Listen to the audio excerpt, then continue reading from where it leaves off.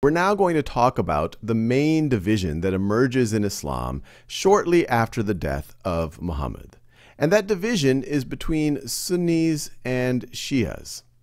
And this division even exists today, where roughly 90% of the world's 1.5 or 1.6 billion Muslims are Sunni, and roughly 10% are Shia. And that 10% is concentrated mainly in places like Iran, Iraq, but they are spread throughout the Muslim world or the world in general. Now, the word Sunni comes from the word sunnah, which is referring to examples of Muhammad. The word Shia comes from Shiatu Ali, which means followers of Ali or party of Ali. And we'll talk more about Ali in a little bit. But the general division is over who should succeed Muhammad after his death as the leader of the Muslim community. Shias believe it should be members of Muhammad's family and especially descendants of Muhammad, while the Sunnis believe that it doesn't necessarily have to be that. But as we'll see, this division becomes stronger and stronger and stronger as there's more and more bloodshed between the two parties. Because so much of this revolves around the family of Muhammad, let's just review that first, and then we'll talk about the division over who should succeed Muhammad as caliph or successor to lead the Muslim community.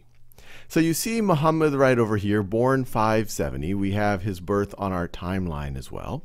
And just to read this timeline, it goes from light blue to dark blue when Muhammad, according to Islamic tradition, starts to have the revelations from God.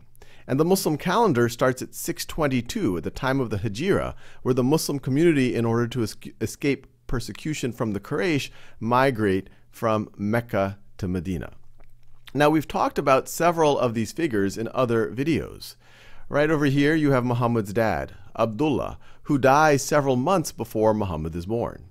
You have Amina here, who is Muhammad's mother, and she dies when Muhammad is six years old.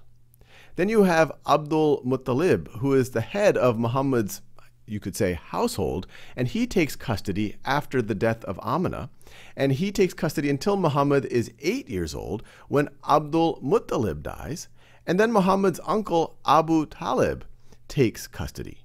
And it's under Abu Talib that Muhammad learns his trade as a merchant and as a trader.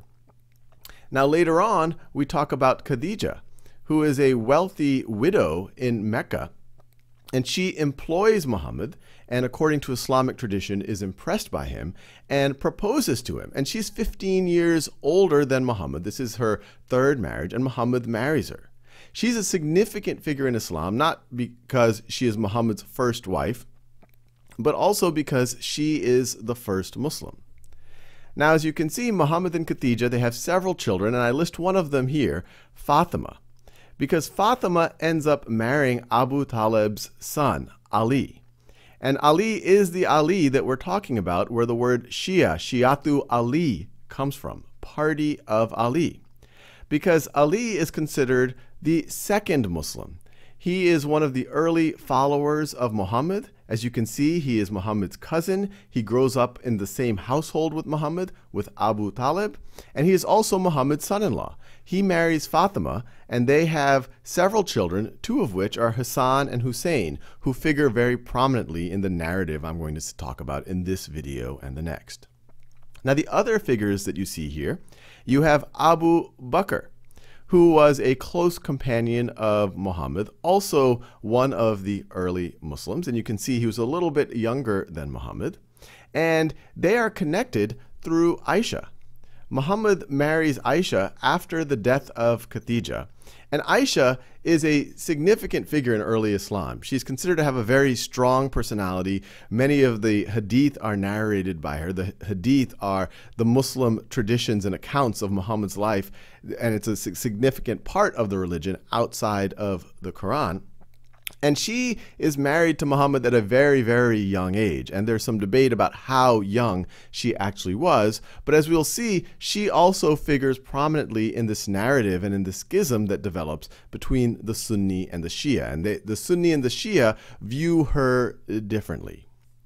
So let's go back to the timeline here. So, as Muhammad's life nears its end in 632, in previous videos we talk about his final pilgrimage to Mecca. And then on his way back to Medina, at a place like Ghadir Kum, he gives a sermon, a sermon that is especially very important to the Shia. According to that short sermon, and Ghadir Kum, Ghadir literally means pond or small stream, so it's the sermon at the pond Kum. There's one quotation that Shia consider to be very, very important, where Muhammad says, Of whomsoever I had been Mola, Ali here is to be his mullah. And the word mullah means protector or leader, or it could mean guardian or people that you are close to. And the Shia view this as clear evidence that Muhammad intended Ali to be his successor. Many members of the Sunni tradition take a slightly different interpretation where they say Mola doesn't necessarily have to mean protector or leader. It could mean companion or friend or member that is close to, and so they don't view this as strongly of evidence. But in the Shia tradition, the event at Ghadir Kum is actually a significant event, and it is even a holiday. So that's the evidence that Shia point to as why Ali should be the successor. But then Muhammad dies. And according to uh, the tradition, while his funeral was being planned by his family, the close companions were meeting and discussing who should succeed Muhammad. And the close companions decide that it should be Abu Bakr. So Abu Bakr becomes the first caliph and he rules for two years. He's succeeded by Umar, sometimes pronounced as Omar, who then is assassinated, who is succeeded by Uthman, sometimes pronounced as Usman, who is then assassinated, and then Ali takes power. According to Sunni tradition, these first four caliphs are considered the Rashidun caliphs, or the rightly guided. And under their rule, you have the significant spread of what becomes this Islamic empire that we talk about in other videos. In Shia tradition, they consider these first three caliphs as usurpers. They believe that Ali should have been caliph from the beginning, right in 632 at the time of Muhammad's death. And once again, they cite the events at Ghadir Kum, which was observed according to the hadith by thousands of people and there's many many accounts of this now ali is in power but as we will see in the next video, this starts the first civil war, the first Muslim civil war, often referred to as the first fitna, between Ali and the Umayyads, who are the family of Uthman. And we will cover that in the next video.